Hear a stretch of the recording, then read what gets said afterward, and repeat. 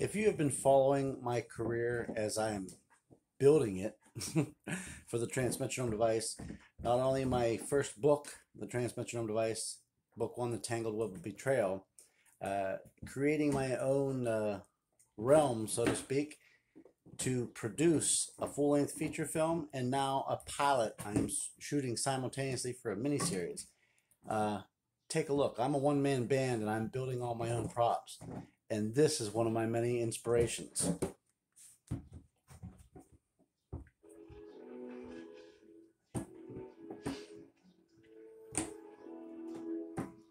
Tunisia, North Africa.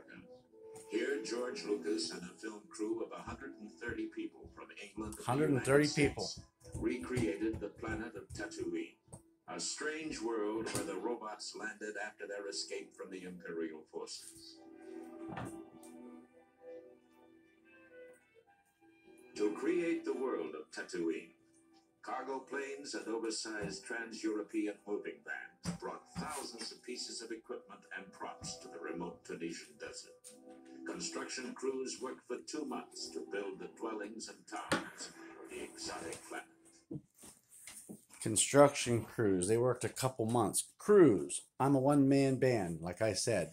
Believe me, when I get my full length feature film done, you guys, you guys are all going to be very, very uh, impressed, and you will appreciate the long wait. In the meantime, later this year, I am going to release the pilot, so you can start to get your feet wet, so to speak, inside my realm of the Transmetronome device, a time travel saga like no other.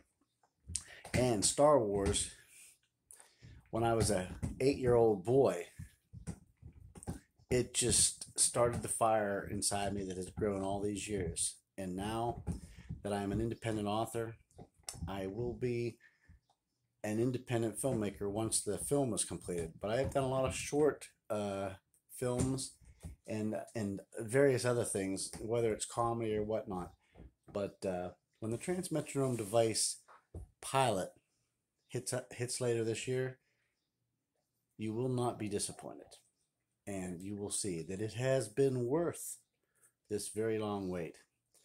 Because everything from building helmets, armor, robots, like little guy here. Whoop! and I'm sitting up here so the dogs don't knock him down. I'm knocking down. Uh, buck two ninety nine. He still has a little ways to go yet. Um, you likes him. I'm Barn. uh, once I finish, you know, different things like buck two ninety nine there, and I capture them on film with my widescreen movie camera. Believe me, and then do the special effects in post production. It may not be a Star Wars uh, realm, but it is going to be very, very believable. And when you watch it, you will surely say, wow. You know, it has been a long time, it's been many years, but so glad that he took the time to do it right so that when it come comes out, you will see. It might not be Star Wars. You know, the transmetronome device is going to be its own, you know, sci-fi time travel fantasy. But I do pride myself in you know doing a good job when it makes its debut. I want everybody to really, you know, watch it and say, wow, you really took the time to give us something really awesome.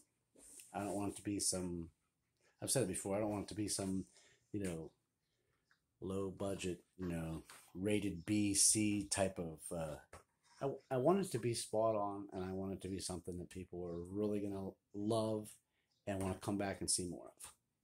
So thanks for watching this video. It's almost five minutes long. As you guys already know, I am long-winded. So thank you so much to everyone who takes the time to watch my videos in their entirety. Because after all these years, if you don't do that, you already have discovered that you miss a lot by not watching them all. So make sure you have the time to sit down and watch them all. Thank you. Love you guys.